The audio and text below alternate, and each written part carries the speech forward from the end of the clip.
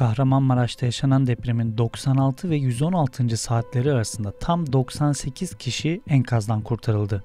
153. saatte Adıyaman'dan gelen bir diğer mucize haberi ve çalışmalarla birçok noktada saptanan yaşam belirtileri ise umutlarımızın hala diri kalmasını sağlıyor. Siz bu içeriği izlediğiniz sırada yeni mucizeler duyacağımızda da eminim. Dünyada farklı depremlerde bu sürenin daha da uzadığını da gördük.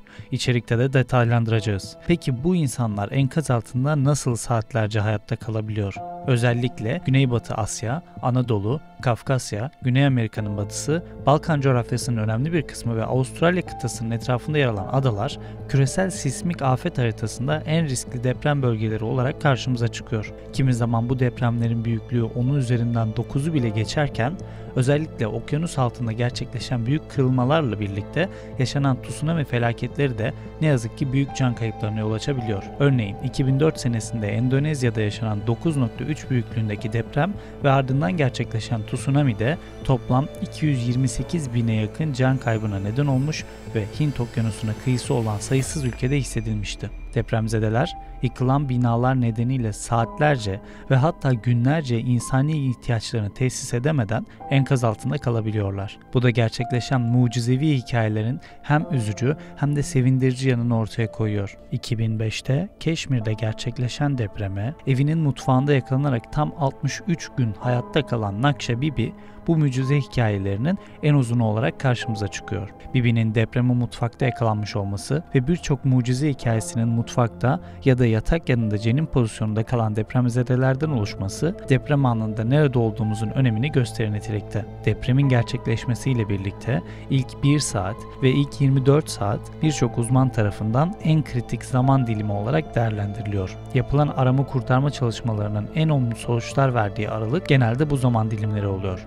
Bununla birlikte daha önce de bahsettiğimiz insani ihtiyaçlar özellikle enkaz altında kalanlar için deprem sonrasında daha kritik bir hal alıyorlar. Biyolojik olarak bir kişinin ortalama susuz bir şekilde hayatta kalabilme sınırının 3 gün olduğu, elzem durumlarda ise en fazla bir haftaya kadar bu sınırın uzayabildiğini görmüştük. Vücudun dehidrasyon olarak adlandırılan bu olağan dışı duruma maruz kalması daha sonrasında kalıcı hasarlara neden olabiliyor. Benzer şekilde açlık sınırının ise ortalama 3 ile 4 hafta aralığında olduğu düşünülüyor. Yaşanan istisnalar ise bu sınırın 2 aya kadar uzayabileceğini bizlere gösterir nitelikte. Çocuklar içinse ne yazık ki bu sayılar neredeyse yarı yarıya daha az seyrediyor. Ancak yine de bünyeden bünyeye bu sınırların değişebildiğini söyleyebiliriz. Bana bırak. Bunu ben Aç canım aç. Aç bakalım bebeği. Depremlerden kaynaklanan yaşam kayıplarının ve yaralanmaların bir kısmı dehidrasyon ve açlıktan meydana gelirken önemli bir kısmı da ezilmeler ve crash sendromundan dolayı yaşanır. Crash sendromu ezilme yaralanmalarından farklı olarak yaşanan kas ezilmelerinin tüm vücutta karmaşık sonuçlara yol açması için kullanılıyor.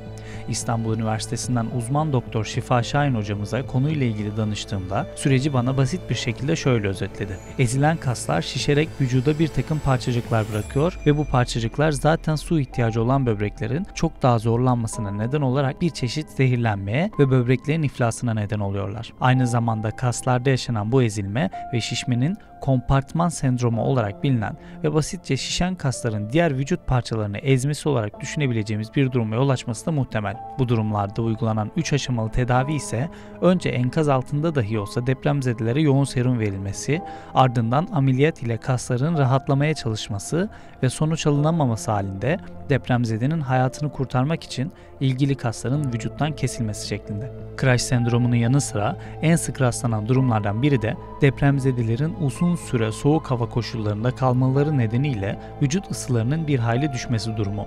Hipotermi olarak adlandırılan bu durum kalp atış şiddetini düşürerek depremzedelerin yaşamlarını yitirdiklerinin sanılmasına yol açabilir. Crash sendromu ve hipotermi nedeniyle zamanında kurtarılan depremzedelerin gerekli müdahale yapılmaması halinde yaşamlarını yitirmeleri deprem sonrasında dikkat edilmesi gereken durumlar arasında yer alıyor. Bu ve benzeri karmaşık sağlık problemlerinin daha erken müdahaleyi gerektirmesi ve özellikle vücudun su ihtiyacının deprem gibi koşullarda karşılanamaması bir kez daha deprem sonrası ilk saat ve en geç 24 saat içerisinde yapılacak müdahalelerin önemini ortaya koyuyor. Bununla birlikte olası bir deprem anında yapacaklarımız da yaşam süremizi uzatabilmek adına oldukça büyük öneme sahip. Depreme yakalandığımız nokta enkaz altında sahip olacağımız hava ve hareket kapasitesi ve sonrasında içinde bulunduğumuz ruh hali gibi birçok unsurun değeri bir hali kritik. Yapılan araştırmalar bu tarz tehlike anlarında vücudumuzun istemsizce bir takım reaksiyonlar sergileyerek bahsettiğimiz mucizelerin gerçekleşmesini bir hayli olumsuz etkilediğini gösteriyor. Afet anında panik halindeyken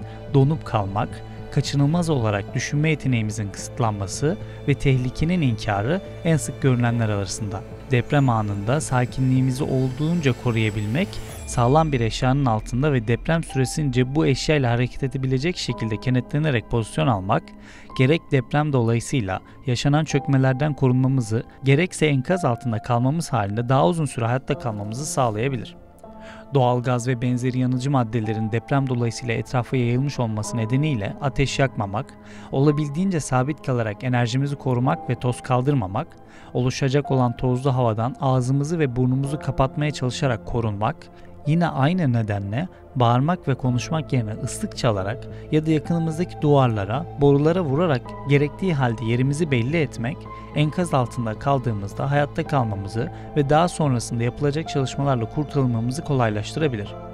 Her ne kadar depremlerin yaşanmamasını umuyor olsak da coğrafi şartların gerçeğinden kaçmak mümkün değil. Ancak depremlerin yaratacağı tahribat ve yol açacağı ölümlerden mümkün olduğunca korunabiliriz. GZT haber ekibimizle ülkemizde yaşanan depremin ilk gününden itibaren gerek sahada gerek haber merkezinde sizlere en güncel haberi doğru bir şekilde aktarmaya çalıştık ve çalışmalarımız devam ediyor.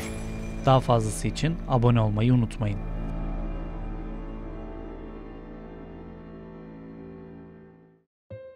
Kahramanmaraş'ta yaşanan depremin 96 ve 116. saatleri arasında tam 98 kişi enkazdan kurtarıldı.